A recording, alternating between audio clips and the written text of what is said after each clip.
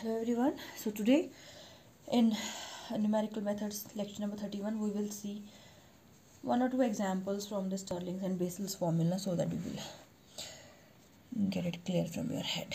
So this is the question given to us that we have to estimate the value when x is equal to 7 from the following data. These these are the data points which are given. So the first thing is we have to construct the central difference table. So let us construct that hmm. okay. This is 2 4 6 8 and 10 5 49 181 449 901 so the first order will be 49 minus 5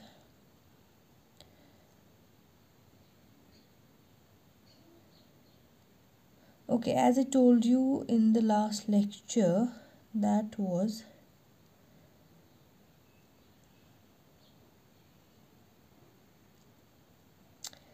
something i missed in that lecture. Sorry for that.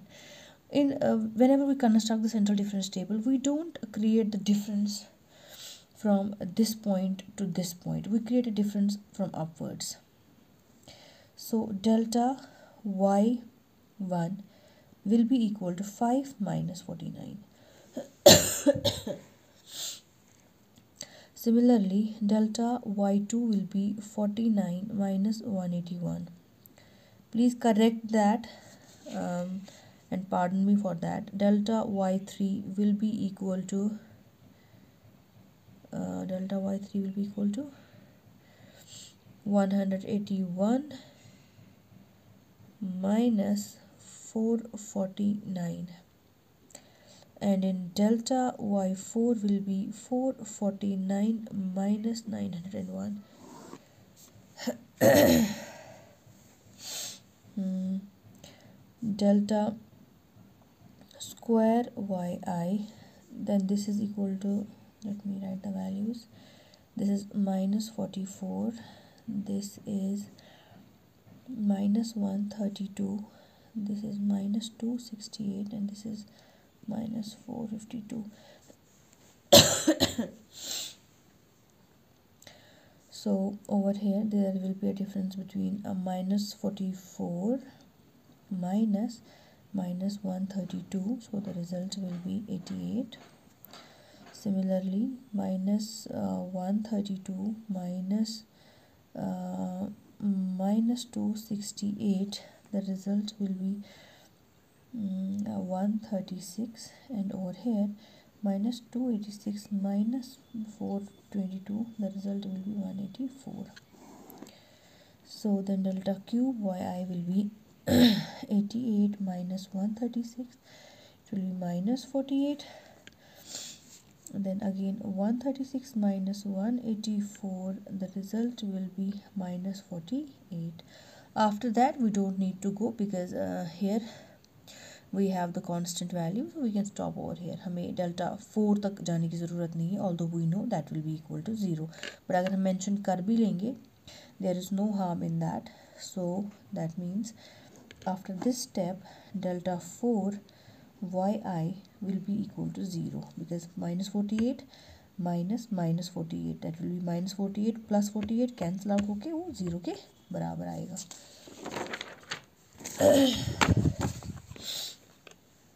now applying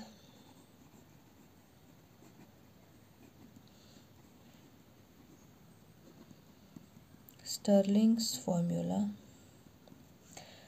so you know that u is equal to x minus x zero divided by h क्योंकि यहाँ पे हम forward difference table का इस्तेमाल करते हैं तो obviously we know कि यू इसके बराबर होता है। So our u is equal to zero point five so y of x will be equal to y zero plus delta y zero plus delta y minus one divided by two plus delta square y minus one divided by two factorial into u square plus this is a Stirling's formula delta cube y minus 1 plus delta cube y minus 2 divided by 2 u into u square 1 square divided by 3 factorial. हमें up to the fourth term जाना है। अगर हम fourth term तक जाएँगे भी नहीं we know the fourth term is equal to a zero right so leave that we have to find the value at y at seven so this will be eighty one plus minus two sixty eight from the table one thirty two divided by two into 0 0.5 simply substitute the values. Uh, we just calculated from the uh, central difference table minus 48 divided by 2 0 0.5 into 0 0.5 the whole square minus 1 ka square divided by 3 factorial plus 0 the fourth term so after simplifying all this you are going to get 101 so this is how we solve the questions on Stirling's formula. Now the next question which we will do will be on the Basel's formula. Okay? Okay. Uh, I will put it in the second part of the video so that uh, it will be differentiated clearly. Thank you. No uh, let, let me do it over here only. We get the question I would be having okay okay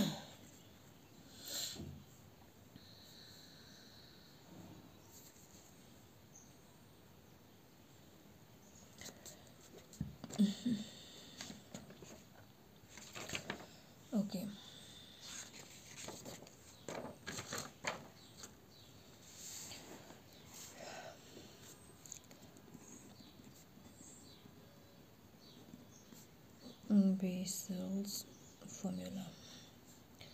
Example.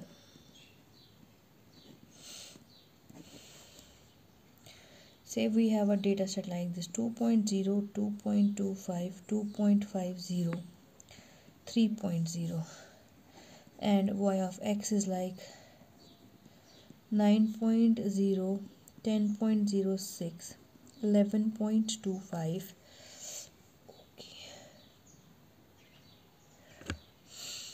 and 14.0 so okay whenever we construct the central difference table in the Basel's and in the Stirling's formula we do it in the reverse order. In Stirling's formula we have to subtract as I showed you just now. And in Basel's formula exactly the way I showed you in the um, uh, in the lecture. So there is nothing wrong in it. I was just I, I just got confused. Sorry for that. Okay. So interpolate the value of x at y of x is equal to 10.06 please try this question at home. So this this will be your homework. If you can't do it let me know. I will show you in this in the second lecture. I don't know what happened to my nose i'm not able to breathe. Anyway thank you so much and have a nice day and with this we have completed unit number two. Hopefully you understood it well. And uh, in the next lecture we will start unit number third. Thank you